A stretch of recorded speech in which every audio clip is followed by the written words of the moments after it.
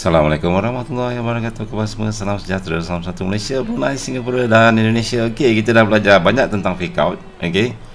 Uh, Video bab 3 memang video tentang fake out saja. Market trick Trik-trik yang dilakukan oleh big big trader Untuk mencari liquidity. Bila mereka nak sell Mereka kena cari buy. Bila mereka nak buy Kena cari sell. Dan di mana tempat-tempat yang paling cantik Adalah tempat-tempat yang Tempat yang trik yang mereka lakukan. Fake out Bila orang dah kena perangkap uh, dah kena stop loss baru price terjun ataupun bila dah MC baru price naik. So kita dah belajar fake out 2R 3, uh, 2R ataupun 3R atau fake out 2S ataupun 3S di mana 2R adalah untuk sell 2S ataupun 3S adalah untuk setup buy. Ok sekarang kita nak belajar tentang fake out awal fake out akhir dan fake out tengah. Apa maksud fake out awal fake out tengah dan fake out akhir? Kalau saya lukis dekat sini saya ambil satu pen Ah biasa yang kita lukis ataupun biasa yang kita belajar yang saya saya saya buatlah eh. biasanya like suppose kita ada fake out yang yang masa lampau ya price dekat sini. Okey, kita ada fake out, fake out, fake out di sini. Fake out tengah. Okey. Ah fake out tengah adalah fake out apabila price berada di tengah-tengah ataupun fake out tersebut berada di tengah-tengah di antara uh, tempat yang kita nak entry tu dengan fake out masa lampau. Kata katakanlah saya ni adalah saya tulis fake out masa lampau. Okey. Di tengah-tengah ataupun katakanlah kita nak entry kat sini. Kita target nak entry di sini. Di tengah-tengah perjalanan price naik ke atas tu di kawasan tengah-tengah ni let's suppose uh, kita tahu bahawa price let's suppose price nak naik dekat sini. Okey dia dah menuju ke kawasan sini. Kita ada fake out di tengah-tengah. Dia antara fake out masa lampau dengan entry yang kita nak masuk. So ini dinamakan fake out tengah. Ha? mid fake out. Saya tulis mid fake out. Mid middle. Maksudnya fake out. R1 R2 R3 berlaku di tengah-tengah di antara entry dan juga fake out masa lampau. So kalau saya ambil contoh contoh di GBP Kanada di sini. Ah ni contoh eh. So kita ada R1 R2 R3 so kita ada R1 saya tandakan di sini this is our R1 R1 R2 and kita ada R3 R1 R2 dan kita ada R3 okay. R3 alright. So di sini price naik laju laju laju. So dekat kawasan sini ini adalah kawasan uh, kemungkinan akan berlaku fake out. Kerana price akan naik laju ke atas break di significant resistance sebab R1 R2 R3 sama baris. So kita ada setup fake out. So you perhatikan Ini tempat entry kita. Tempat yang kita nak entry Bila kita tengok dekat belakang tu Kita ada Another R1, R2 kat sini Saya tandakan lagi. This is your R1 Oops. Okay And then you ada Let's suppose this is your R2 lah. Okay. So kita ada fake out dekat sini. So fake out yang tengah-tengah ni Dia berlaku di tengah-tengah Di antara Fake out masa lampau dengan tempat yang kita nak entry. Exactly not really betul-betul tengah-tengah lah tak. But dia betul betul-betul dekat uh, I mean dia tengah-tengah di antara sini. So sebab nanti nanti saya akan tunjuk contoh lagi. Fake out dekat awal fake out dekat hujung. Alright. So R1 R2 di sini dan kita ada fake out di sini tengah-tengah. So price pergi ke atas break this resistance and then terjun ke bawah mencari demand zone. Alright. So ni adalah contoh fake out tengah. Uh, XAU USD eh XAU USD SR flip. Okey next next ialah tentang fake out awal. Fake out awal ni let's suppose saya buat baru. Okey saya tak apa. Fake out awal ni dia berlaku di sini. Biasanya dia akan berlaku SR flip di mana kita akan belajar lagi video seterusnya nanti tentang SR flip. Di kawasan fake out masa lampau support yang berada di bawah sini S1 S2 biasa you akan jumpa benda yang sama juga. You ada S1 S2 biasanya biasanya kalau fake out awal ni dia akan price akan test dulu di sini. S1 S2 okay let's suppose uh, dia berlaku something like this.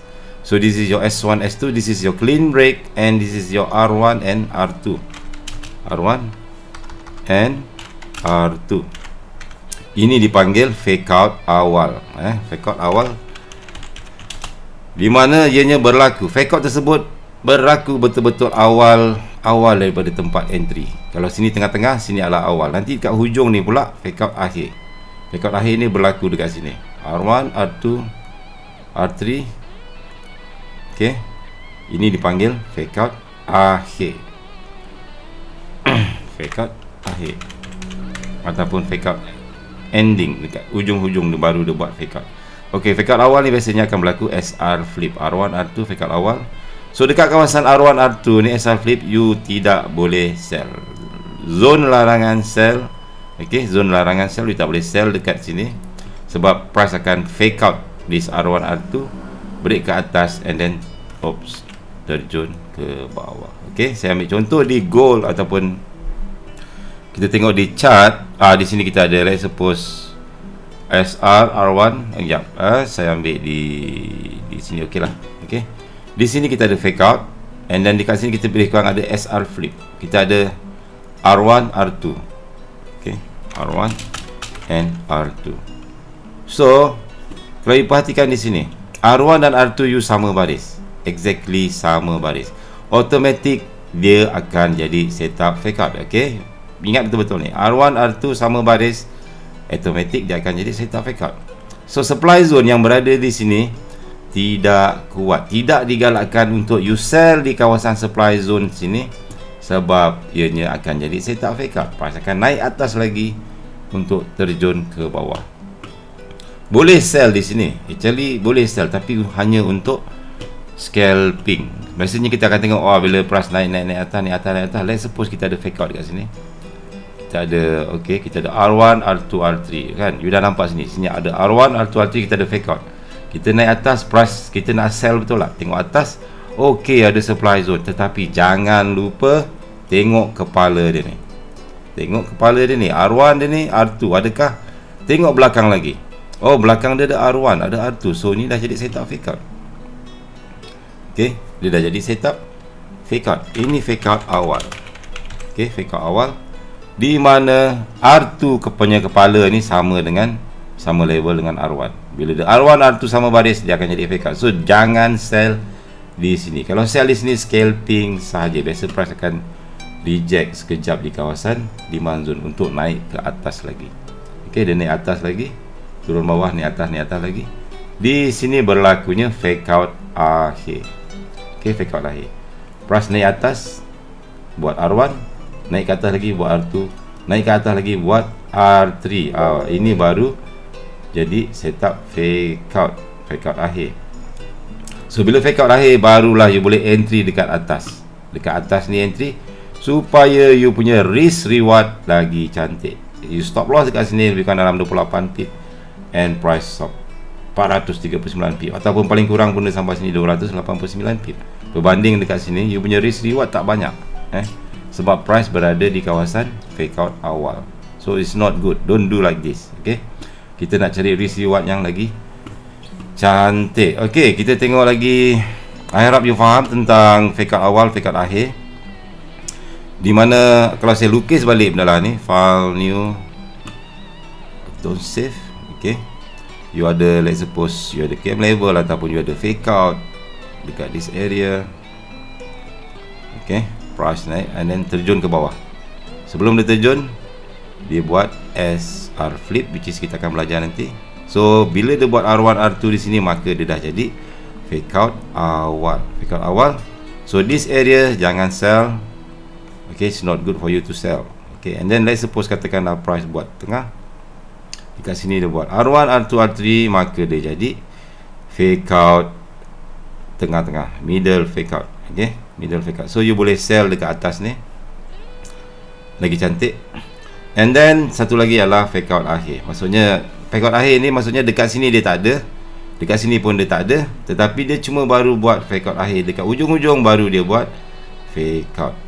Boom price naik atas and then baru terjun ke bawah. Ini dipanggil fake out akhir. Ini fake out tengah.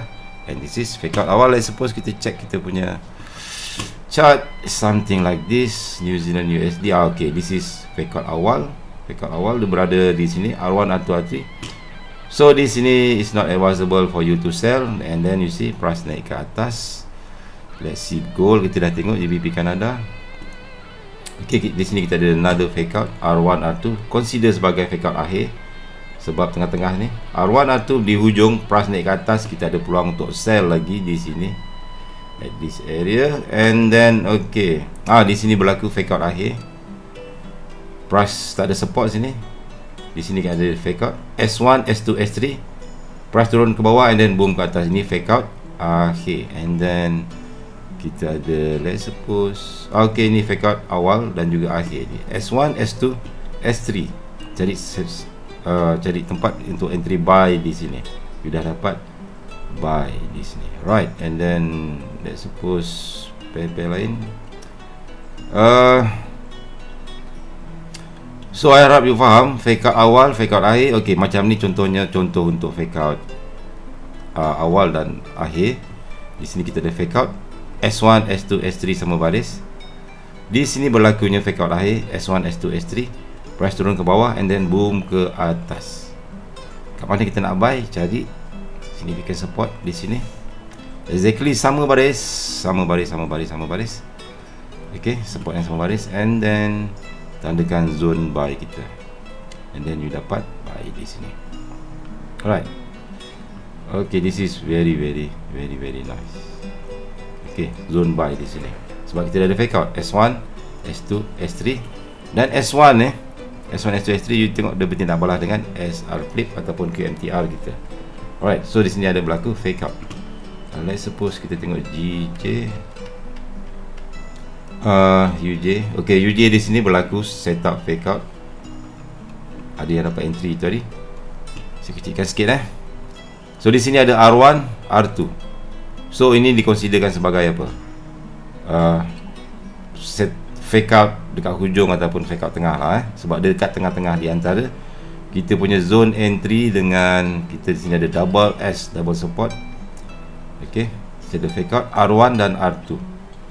Price naik ke atas break ada double support and then price turun ke bawah. I think that's it. Okay, macam ni contoh S1, S2 fake out di tengah-tengah.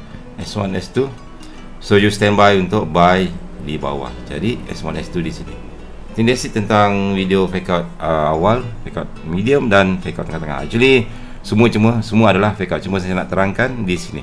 Which is very important bahawa bila berlaku SR flip ataupun fake out yang awal di sini you jaga-jaga. Jangan entry sell di sini sebab price akan naik ke atas lagi. So next video saya akan ceritakan tentang SR flip okay? SR flip ataupun RS flip iaitu fake out V2 okay? tinggal bertemu kembali video seterusnya. Assalamualaikum warahmatullahi wabarakatuh